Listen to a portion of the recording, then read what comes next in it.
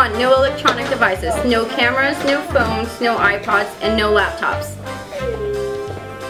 Hey, so how about them Spurs? Hey, do you think they're gonna have bacon on this retreat? They better have bacon. I'm gonna hurt somebody. Bacon? Man, I'm already no, on edge. No, These man, Spurs got me on bacon. edge.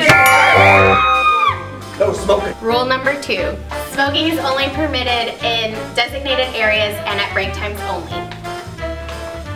So what the up with the Spurs game? They're getting on my nerves. It was giving the Spurs, quite frankly. You talking about you? Watch your mouth. Rule number three, no profanity. I'm so hungry.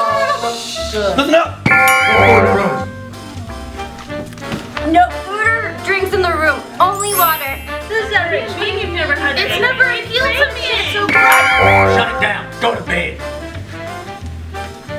Rule number five, lights out means lights out. We have a lot of stuff planned for you, so you need to rest your bodies. Well, Jared, I got you a little something. Thank you, Christian. Well, you're welcome. You know, anything for my babe.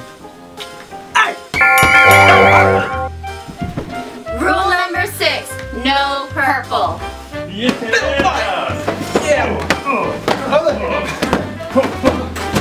Hey, hey, what's going on here? What's going on here? You three, get out and give me 20 push-ups right now. You, back to the room. Go, go away, go away.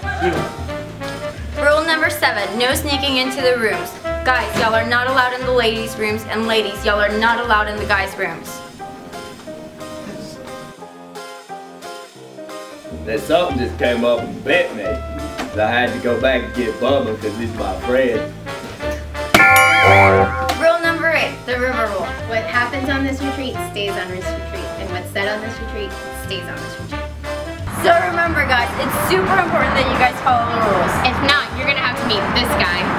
Wait up on the roof. What? What is going on here? Don't make me get you get down and give me 20 push-ups.